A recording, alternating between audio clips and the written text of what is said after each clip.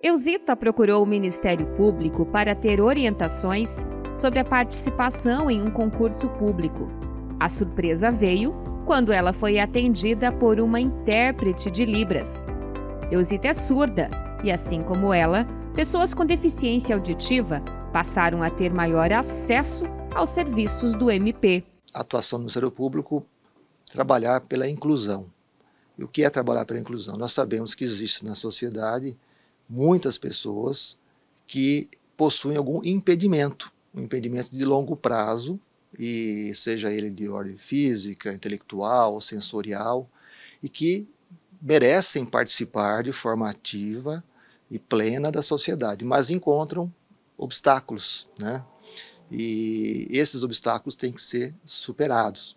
No caso das pessoas surdas, um grande obstáculo consiste na comunicação.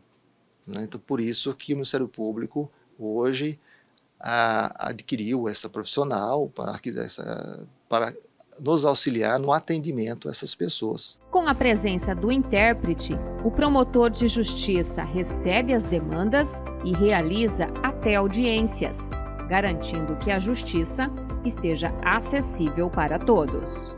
As pessoas com deficiência também têm suas demandas, então elas devem sair de casa, ir até as instituições, adentrar os órgãos públicos e se sentir acolhidas para trazer as demandas, né? sendo elas procedentes, alguma providência será tomada. Mas o que não pode ser negada a ninguém é o acesso à busca de algum direito, como todas as pessoas. E as pessoas com deficiência têm que ter essa oportunidade. Desde que o atendimento passou a ser ofertado, as demandas de pessoas com deficiência auditiva aumentaram. O serviço, que também é ofertado com o uso de ferramentas tecnológicas e da internet, tem chegado às promotorias de justiça de todo o estado. A gente é, faz via WhatsApp mesmo, né? Tem um sistema no WhatsApp que você faz uma ligação por meio de vídeo. Então a gente faz essa ligação via web e eu consigo conversar com ele normalmente como se ele estivesse presente aqui na minha frente. Então, assim foi feito tanto com quem é fora do estado, como aqui dentro do estado. Então, aqui dentro do estado, já cheguei a ter mais de 300 surdos para uma demanda ao qual eles estavam se inscrevendo numa seletiva e eles precisavam de orientação e, infelizmente, o órgão não havia fornecido orientação para eles. Janaíne também nos auxiliou na conversa com Eusita, que nos confessou as inúmeras dificuldades que encontra no dia a dia para ter acesso aos muitos serviços. Quando eu vim a primeira vez aqui no Ministério Público, eu, como surda, fazer uma reclamação que antigamente não tinha, por questões de faculdade, entre outras coisas, médico, banco, não tem. E a gente se sentia meio perdido, faltava aquela comunicação. E eu tinha que vir no Ministério Público para fazer as minhas reclamações e ir atrás do meu direito. Então, eu me sentia como se estivesse vazia, prejudicada antigamente. E onde que eu iria recorrer? Então, era algo muito ruim. Então, muitas vezes a gente até desistia de fazer e de ir atrás dos nossos direitos.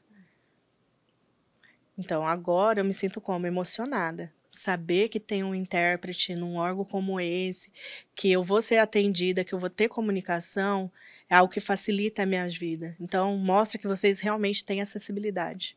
Implementar todos os requisitos de acessibilidade e, assim, efetivar os direitos fundamentais, aplicando os princípios da igualdade e dignidade da pessoa humana, é uma das prioridades do Ministério Público de Mato Grosso. Todas as matérias, vídeos e transmissões ao vivo do Ministério Público de Mato Grosso têm acessibilidade com a tradução por intérpretes de Libras, como este vídeo que você está vendo aqui. É a Raquel, uma de nossas intérpretes, que neste momento faz a tradução do que eu estou falando que é um avanço muito grande e eu vejo que é uma porta para que outros lugares também abram esse caminho e permitam que eles tenham o mínimo de dignidade, que o mínimo de dignidade é a comunicação.